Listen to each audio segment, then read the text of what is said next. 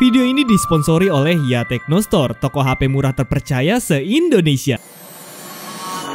Halo guys, kembali lagi di Tekno Channel rekomendasi gadget paling keren sejagat YouTube dah pokoknya. Jadi gimana nih kabar kalian? Udah pada punya duit belum buat upgrade HP?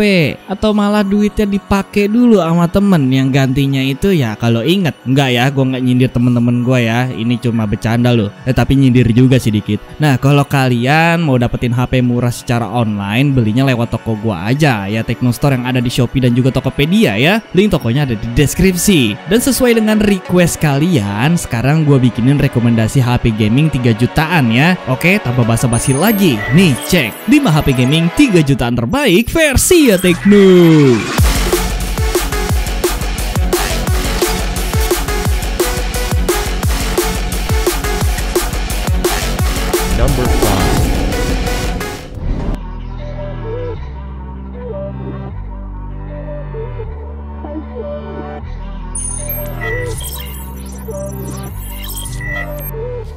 Buat ngasih perlawanan berarti ke pesaingnya, Galaxy M23 5G hadir dengan chipset gaming Qualcomm berjenis Snapdragon 750G 5G. Meskipun nggak terlalu gaming yang gimana-gimana, tapi seenggaknya performanya udah kuat buat game terberat di bumi ini Free Fire Max.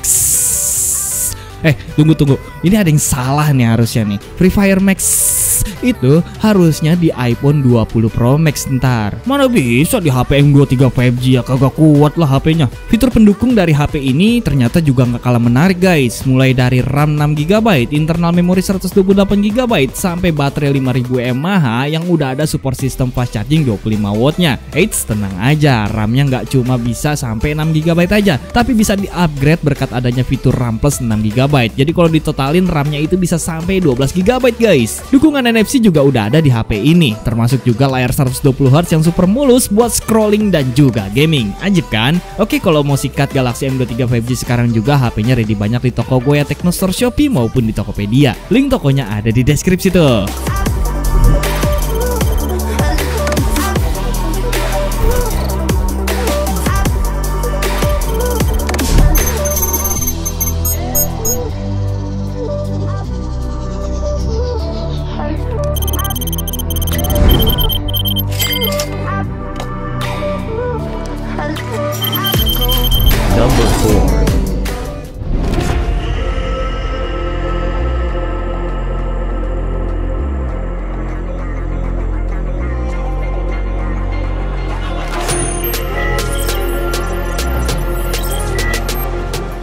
Berkaca sama HP 3 jutaan kebanyakan. iQOO ZC, Z7X 5G Buseng dah susah banget namanya. Tentu yang paling berani untuk urusan supply dayanya ya guys. Gak cuma menarik lewat baterai gajah 6000 mAh nya doang. Vivo juga ngasih fitur fast charging 80 watt yang sangat-sangat premium. Sebagai HP yang fokusnya untuk gaming Chipset Snapdragon 695 5G yang dibawanya juga bisa bekerja lebih maksimal nih guys. Terutama berkat pembawaan liquid cooling 5 layer Sampai-sampai ada dukungan extended RAM 8GB juga. Gahar banget deh pokoknya speknya ya. Namanya juga seri Vivo yang iQOO ya guys. FYI juga nih guys, berkat perbekalan liquid cooling dengan struktur pendingin 5 lapis, suhu HP bisa dibuat lebih adem sampai 10 derajat Celcius. Cocok deh nih buat orang Tangsel yang diklaim sebagai kota terpanas di Indonesia. Well, untuk link pembelian HP-nya ada di deskripsi.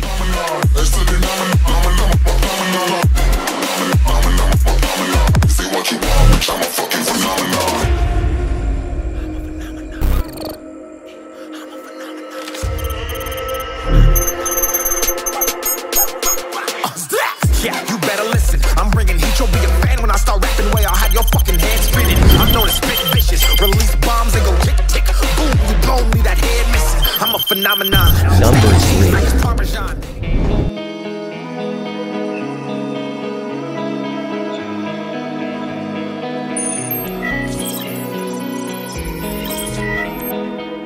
Poco X5 5G jadi HP Xiaomi terlaris di harga 3 jutaan ya guys. Gimana nggak laris manis coba? HP ini punya desain tipis tapi speknya lumayan buas yaitu dengan chipset Snapdragon 695 5G yang punya fabrikasi 6 nanometer. Berkat chipset yang punya skor Antutu hampir 400 ribu, game sekelas Genshin Impact bisa dilibas pada settingan grafis low sampai medium 60 fps ya guys. Kalau lebih nyaman lagi, gue saranin kalian pilih yang varian 8 per 256 GB nya ya. Kalau ngomongin kelebihan lain dari si X5 5G ini mungkin ada pada sektor baterai 5000 mAh dengan fast charging 33 watt, terus ada fitur NFC-nya juga dan ada rating IP53 biar tahan sama percikan air ya guys. Langsung gerebek toko gue ya Technostore yang ada di Shopee dan Tokopedia aja kalau search sama si Poco X5 5G.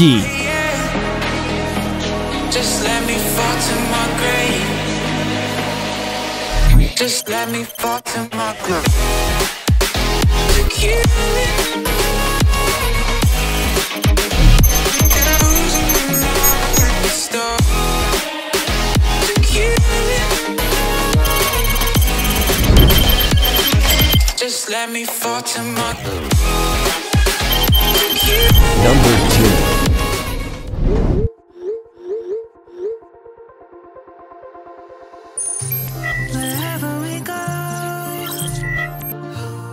Next HP gaming 3 jutaan berikutnya ada Infinix Zero 5G 2023 nih guys. Ngebawa upgrade yang signifikan, kalian bisa ngerasain performa level up lewat chipset Dimensity 920 5G-nya. Lewat pengujian gamingnya, performanya lumayan bandel buat ngelahap game PUBG Mobile, khususnya di settingan grafis smooth ekstrim. Untuk giroskopnya juga udah anti delay ya, karena udah hardware. Kalau di seri Infinix Zero 5G lama nggak ada fitur NFC-nya, seri ini udah ada NFC-nya buat lebih manjain calon majikannya. Cuma ya kurangnya ya ada pada bagian speakernya yang masih mono ya guys. Tapi nggak masalah besar juga sih ya kalau buat mainin game kayak Mobile Legends. Mungkin masalahnya kalau kalian mainin gamenya kayak PUBG Mobile. Tapi kan kalau main PUBG Mobile itu wajib headset ya guys buat denger step musuh. So kalau kalian search sama Infinix Zero 5G 2023, HP-nya bisa disikat via Technostore. Linknya udah gue taruh di kolom deskripsi.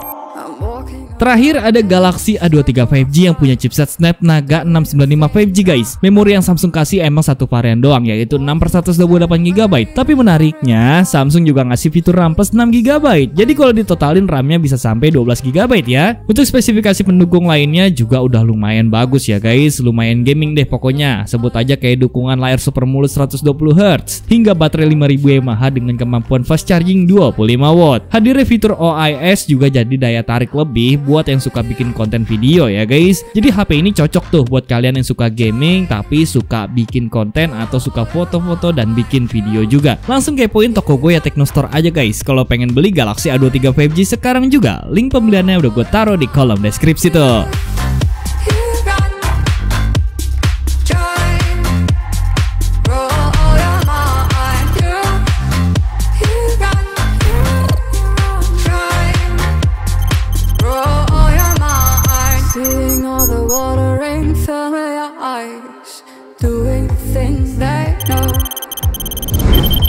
Talking about the same Well, dari kelima HP gaming 3 jutaan yang kalian tonton sampai habis tadi, HP mana nih yang bikin tabungan kalian pengen berontak? Gak bosen-bosen juga gue ingetin kalian ya guys, kalian bisa beli HP baru secara online di toko gue ya Technostore yang ada di Shopee dan juga Tokopedia. Dijamin 100% HP-nya baru bergaransi resmi dan bisa konsultasi sama adminnya juga ya, karena adminnya gue sendiri. Link tokonya ada di deskripsi tuh. Oke, terima kasih sudah menonton. See you!